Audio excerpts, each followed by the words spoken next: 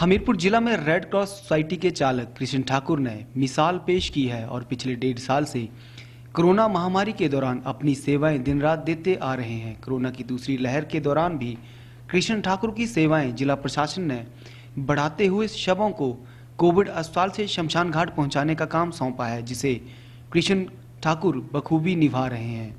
अपने परिवार बच्चों की चिंता छोड़कर कृष्ण कुमार ने अब तक 60 से ज़्यादा कोरोना संक्रमण से हुई मौतों के शवों को लोगों के घरों के अलावा शमशान घाट तक पहुँचाया है और कई बार अंतिम संस्कार में भी अहम भूमिका निभाई है।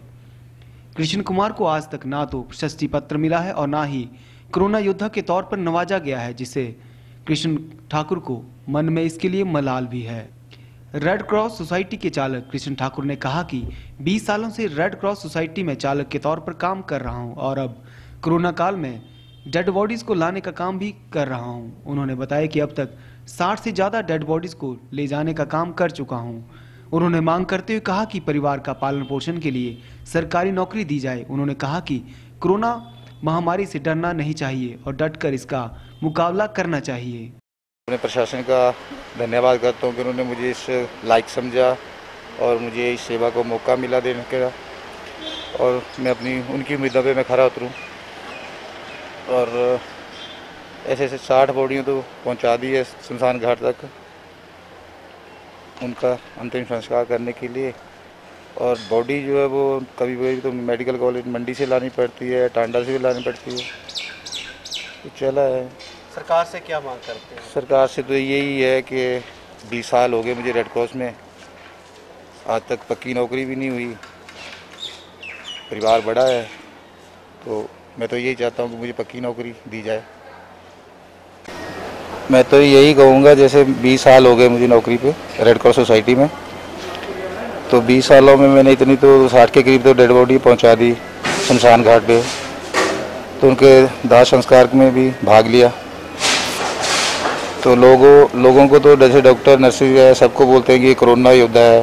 तो आज तक तो हमें मैं तो ड्राइवर हूँ रेड क्रॉस में, मुझे तो किसी ने योद्धा नहीं बोला, ना तो कोई प्रसिद्धि पत्र दिया है। तो मैं यही चाहता हूँ कि मुझे सरकारी नौकरी दी जाए और जिससे मेरा पाल, पाल पा, परिवार का जो पालन पोषण जो वो सही तरीके से हो। आप लोगों को क्या संदेश देना चाहिए लोगों को यही संदेश है कोरोना से डरना नहीं चाहिए कोरोना का डट के मुकाबला करो इसी में सबका ये है। वहीं रेड क्रॉस सोसाइटी के चालक के द्वारा इस तरह कोरोना काल में दी जा रही सेवाओं की लोगों के अलावा रेड क्रॉस सोसाइटी के सदस्यों के द्वारा भी प्रशंसा की जा रही है। रेड क्रॉस सोसाइटी हमीरपुर के इंचार्ज इंदु शर्मा ने बताया कि जब से कोरोना काल शुरू हुआ है, तब से कृष्ण ठाकुर के द्वारा लगातार ड्यूटी दी जा रही है और कोरोना के चलते प्रशासन ने वाहन को अब शव वाहन में तब्दील कर दिया था और अब तक 60 कोरोना के ग्रास बने हुए शवों को घरों तक पहुँचाने का काम भी चालक के द्वारा किया जा चुका है। सर, जब से कोरोना काल शुरू हुआ है, जब से कोरोना आया हुआ है, तब से ये इसमें कोरोना में ड्यूटी दे रहे हैं। पहले इन्होंने एनआईटी हमीरपुर में जब इन्होंने वहाँ पे क्वारंटीन सेंटर बनाया था, वहाँ पे इन्होंने 24 फोर आवर्स नौ महीने कम से कम ड्यूटी दी है। उसके बाद जो हमारी एंबुलेंस है तो पहले तो ये पेशेंट के लिए थी। फिर जब कोरोना की वजह से इन्होंने जो एंबुलेंस है, उसको शव वाहन में तब्दील किया। तो अभी मेरे ख्याल से सिक्सटी अब अब इन्होंने डेड बॉडीज नेर चौक से आर के एजेंसी हमीरपुर से वहाँ से भी इन्होंने घर घर तक पहुँचाई हैं और लोगों का काफ़ी सहयोग दिया है। और मतलब मैं काफ़ी सराहना करती हूँ कि इन्होंने रात दिन कुछ नहीं देखा ट्वेंटी फोर आवर्स इन्होंने अपना काम बड़ी बखूबी निभाया है। इसलिए हम आ, क्या बोल सकते हैं अप्रिशिएट करते हैं इनको और बहुत अच्छा बहुत अच्छा काम कर रहे हैं ये। वहीं स्थानीय निवासी सुदर्शन पटियाल और कृष्ण सिंह ने बताया कि पिछले 18 सालों से Krishna Kumar red cross society में सेवाएँ दे रहे हैं और कोरोना काल में शवों को पहुँचाने के लिए ड्यूटी को निभा रहे हैं।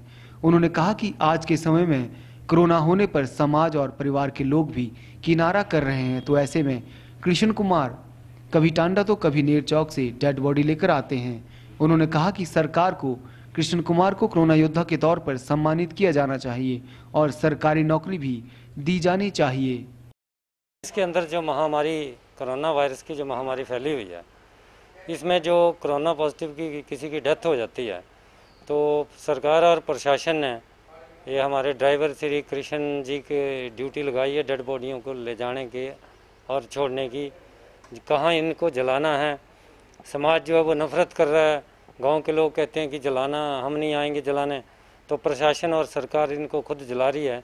तो जैसे dead body Kangra Tanda medical college से लानी है, या नेर चौक मेडिकल कॉलेज से लानी है तो एसडीएम साहब की डायरेक्शन से ये 24 घंटे अपनी सेवाएँ दे रहे हैं।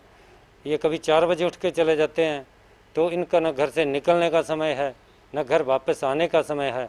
ये क्रिश्चियन ड्राइवर जी कब खाते हैं, कब खाना खाते हैं, कब नहाते हैं, कब सोते हैं, कोई पता नहीं।